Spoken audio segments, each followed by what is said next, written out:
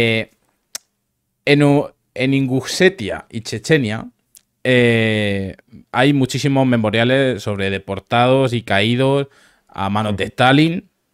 Eh, y luego hay un vídeo donde te sorprende ver un busto de Stalin.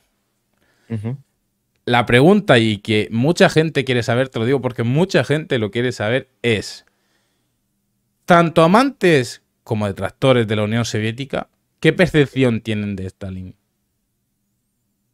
A ver, Stalin era papá Stalin en la Unión Soviética. Eh, eh, eso, eso que has dicho lo he escuchado mil veces y nunca he entendido realmente por qué, porque mucha gente que conozco eh, era que no, Stalin era lo peor, mató mucha gente, luego tengo otra gente que dice, no, era papá Stalin, y digo, no, no entiendo el punto medio. Claro, vale. eso, es la educación que recibía la gente, papá Stalin, papá Lenin, papá Stalin, vale. Eso es lo primero. O sea, la Unión Soviética jugó un, papel muy importante. Luego es verdad que a partir de Khrushchev, ¿no? Empezó una época de. Pues no sé, de. No sé cómo decirlo, que empezaron a quitar algo, empezaron a quitar bustos, sobre todo, o imágenes que había de él. ¿Vale? Eso es lo que, lo que tengo entendido yo. Luego, yo me sorprendí, bueno, centralizando, focalizando la pregunta, ¿Cómo ven a Stalin? Pues depende de la, de la zona. actualmente yo diría que depende de la zona. Como tú bien has mencionado, eh, bajo su gobierno, su mandato, se realizaron deportaciones, eh, que están los monumentos ahí, puedes ir a verlos, y ahí no vas a ver nada, ningún busto de Stalin ni nada.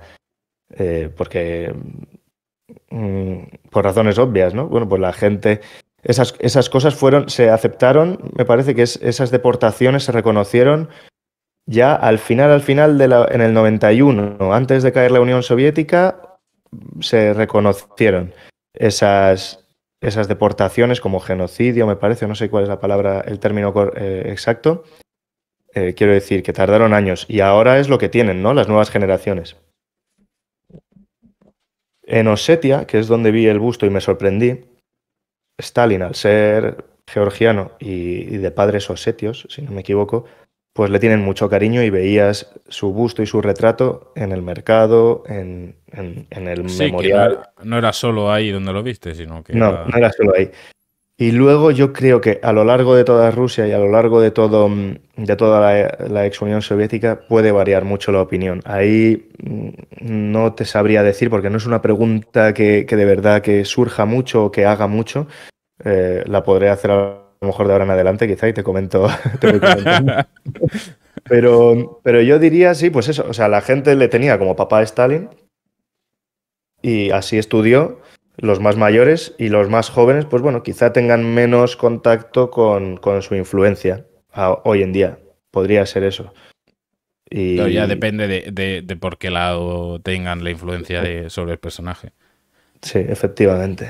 Pero a mí también me sorprendió un poco, también es cierto que tendrá que ver con la contaminación occidental bueno, bueno, los hechos históricos, pero quiero decir que me sorprendió también ver un busto de Stalin porque era, es la primera vez que lo he visto en un vídeo o en cualquier documental que públicamente hay un busto de Stalin.